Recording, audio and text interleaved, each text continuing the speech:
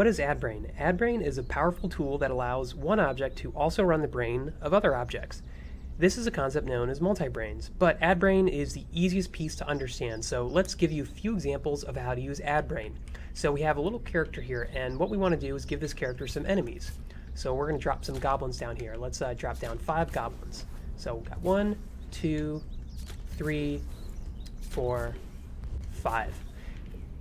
Now each of these goblins has a different brain running inside of it. So we can jump inside of a goblin and see that it has this melee enemy brain uh, that's allowing it to attack the character. So the thing that can be challenging is if you decide to change the characteristics of each of these goblins, you're going to have to go into every one of their brains and change that. Instead, you could use AddBrain to kind of centralize their behaviors and add it after the fact. So let's show what that looks like. So let's bring in a logic cube. Let's just uh, place it right next to these goblins for now and we're going to call this logic cube goblin brain.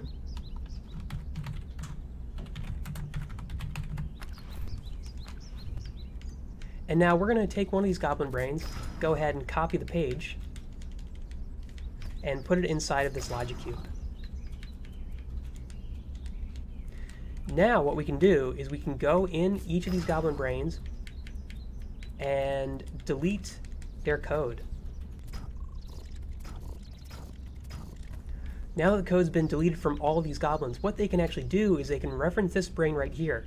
And uh, we probably want to make this brain a template because we don't actually want this brain to be attacking the player or you know, thinking that it's its own enemy. So we make this a template so it's not actually in the world, it's just something people in the world can reference. So now we go inside of uh, one of our goblins. So we just add a simple line of code that is once, and on one side we go to brains, go to multi-brain, choose add brain, then go to objects, in-world picker, and choose this logic cube. Now that adds the brain of that logic cube into this goblin. We copy that one line of code, and we can now put it in all of our goblins. And so what this does is at the very beginning of the game, each goblin is having this brain added inside of it. So we jump into test, And now these goblins, you know, they attack us just like before. But say, you know, I'm playing around and I notice that, you know, it's taking them a long time to hit me. They they have too much of a delay before they actually hit me, making them a bit too easy. So the great thing about this approach with Add Brain is we have this one centralized brain that all of our goblin enemies reference. We can go inside of it and we can just change a few things here. So let's say on line 8 it has, it has this pause attack uh, of one to three seconds. Let's just change that to zero to uh, one seconds. And we go back into test, and now all of our goblins have that behavior that I changed. All right, the second example to show you is how to use AddBrain to add additional brains on top of a player who already has certain brains running. So in this example, we have this gate right here, and we're going to have our player unable to jump until he passes this gate. You know, this gate might be the entry into the world. So what we want to first do is inside of this gate, we do uh, when started to in trigger zone player.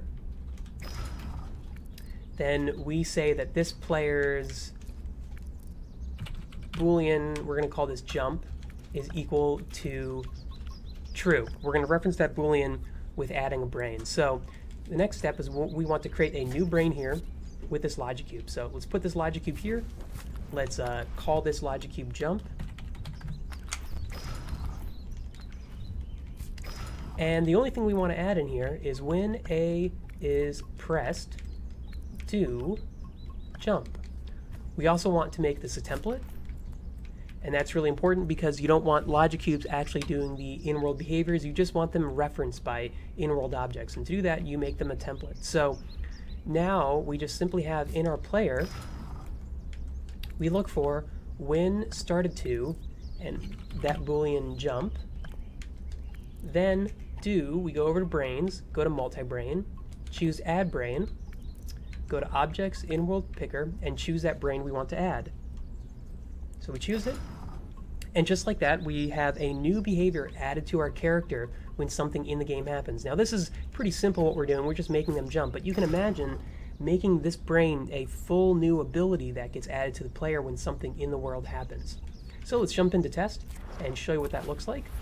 So we're outside of this gate and you see that we are unable to jump. We go inside of here and as soon as we walk through we can jump again. So there are just two really quick examples of how to use Add Brains to make some pretty powerful things happen inside of Project Spark. You can uh, use it to make much more complex things. We might get into multi-brains later, but now you know kind of how to use Add Brain. Try and use it in your Project Spark creations. Project Spark is where players create and creators play. What better way to be inspired than to see what's possible? This will surely spark your imagination. Now, how do we begin?